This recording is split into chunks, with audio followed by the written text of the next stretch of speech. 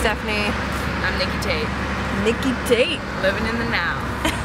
it was really fun. It was amazing. Yeah. We were just talking about how much we appreciated all of the uh, workshops and like the inspiration to go out and create things and like put yourself out there a little bit more.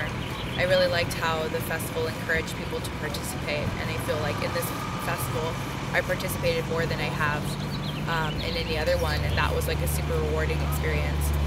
I woke up from a dream. What did you see? A family. Echo. It was amazing, life changing. I like the people here. I like all the music. It's just good vibes, happy the whole time. Um, I really liked all the sets I saw yesterday. The Thunder Stage were really good. I'm gonna go back and be a better person and just make a lot of personal changes for myself.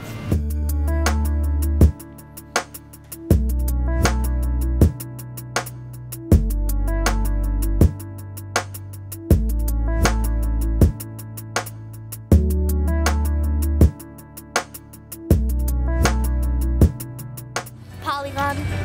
Did you have fun in Lightning in a Bottle? Of course I did. It's lightning in a bottle.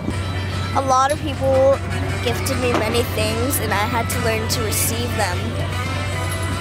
And I think I'm going to give and teach people how they can receive because some people have a really hard time receiving and they usually give. So I'm going to try to give give more and then I will receive.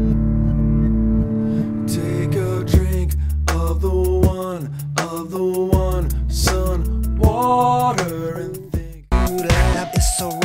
It's a Bup, bup.